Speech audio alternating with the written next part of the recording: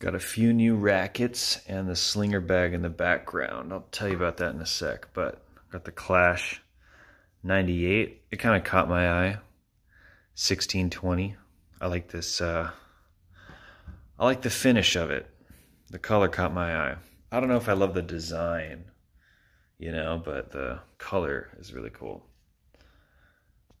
This one's a little beat up, but it's the 104, the Blade 104 and it's a 27.5. This is the Serena endorsed blade at 28 inches. It's an 1819, kind of a funky string pattern. I don't know how much I'm going to mess around with these rackets.